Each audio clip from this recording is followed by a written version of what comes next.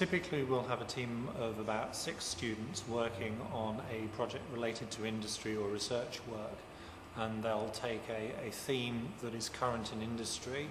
Um, that might be a small product that uh, industry wants to do some trial work on, um, or a, a small aspect of a research project here at the university.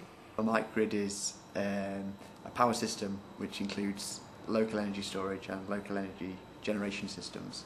For example, in a home, if you're in a situation where you may lose power, if you're prone to blackouts or something like this, the microgrid, the energy storage, will enable you to continue using your appliances in the house even during these blackouts.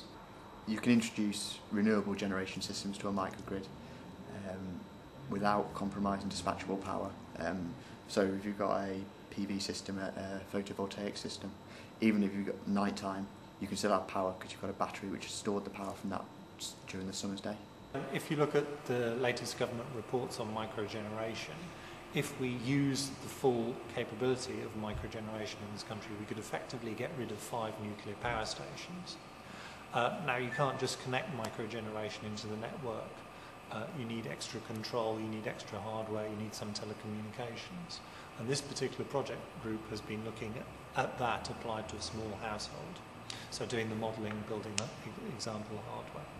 Our project was, uh, was about um, improving the system of inventory and supply chain management by using um, RFID technology.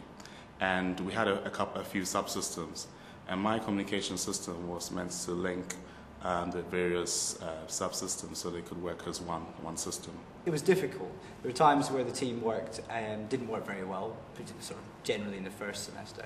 But towards the end, we worked really, really well, and we put together some incredible work that I'm immensely proud of.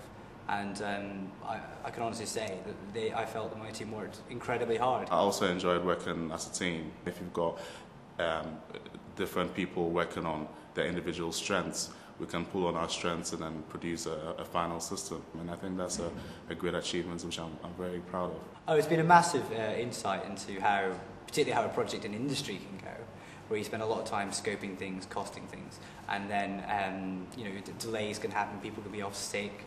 Uh, there's a, a, whole range of unpredictable things that you, you know, obviously are unpredictable. Um, and that was the, the realistic aspect of it that you wouldn't perhaps get with other projects.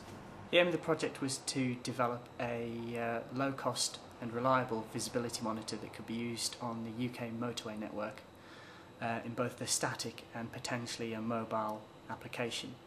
So um, the monitor would uh, use the existing road infrastructure, in particular cat's eyes, to calculate the visible range and that data could be fed back for the static system to the Highways Agency so that they could uh, update um, the gantry road signs uh, and enforceable speed limits and warn drivers of um, foggy areas. And for the mobile system, it would be almost like a sat nav unit, and it would uh, provide real-time uh, visible range estimates and advise safe driving speeds.